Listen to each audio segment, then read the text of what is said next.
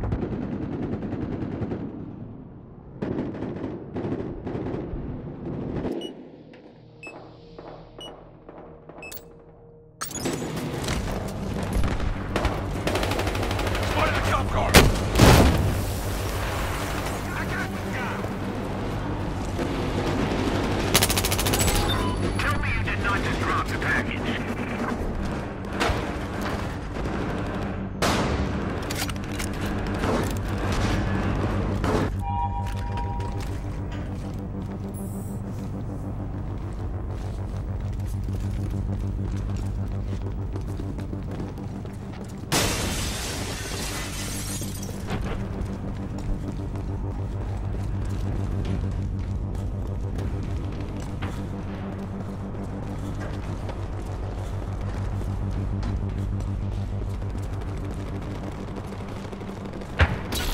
it, cops recovered the package.